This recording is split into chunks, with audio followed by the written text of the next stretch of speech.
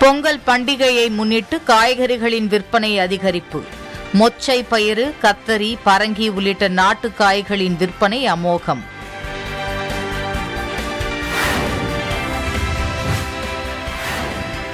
ஓமலூர் பகுதியில் வேளாண் துறை அதிகாரிகளின் ஆலோசனைப்படி மானாவாரி நிலத்தில் சாகுபடி செய்யப்பட்ட கரும்பு. அமோக விளைச்சல் கிடைத்துள்ளதால் விவசாயிகள் மகிழ்ச்சி.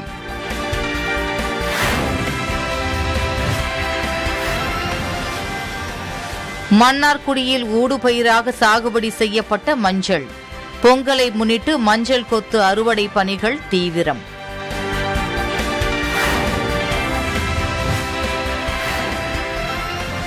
பழனி முருகன் கோவிலில் தைப்பூச திருவிழா கொடியேற்றத்துடன் தொடக்கம். கொரோனா தடுப்பு கட்டுப்பாடுகளால் வெள்ளி தேரோட்டம் உள்ளிட்ட நிகழ்வுகளுக்கு பக்தர்களுக்கு அனுமதி இல்லை.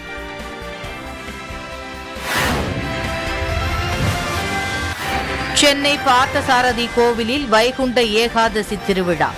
இரவு பத்து முதல் காலை ஆறு மணி வரை பக்தர்களுக்கு அனுமதி இல்லை.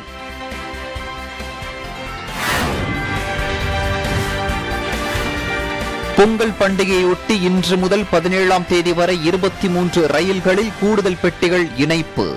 தெற்கு ரயில்வே தகவல்.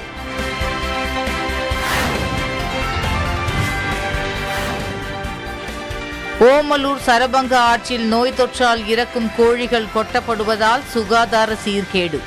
கழிவுகள் கொட்டப்படுபவர்கள் மீது உடனடியாக நடவடிக்கை எடுக்க மக்கள் கோரிக்கை.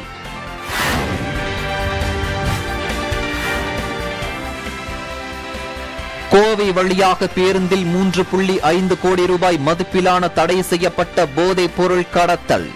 ஹாசிஸ் ஆயில் கடத்திய ஒருவரை கைது செய்தது கேரள கலால் துறை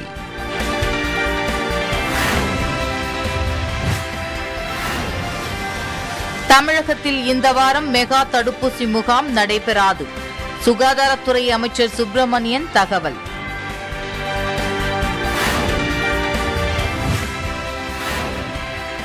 தமிழகத்தில் நான்காயிரம் கோடி ரூபாய் மதிப்பீட்டில் கட்டி முடிக்கப்பட்டுள்ள பதினோரு புதிய அரசு மருத்துவக் கல்லூரிகள். பிரதமர் நரேந்திர மோடி இன்று மாலை நான்கு மணிக்கு வீடியோ கான்பரன்சிங் மூலம் திறந்து வைக்கிறார்.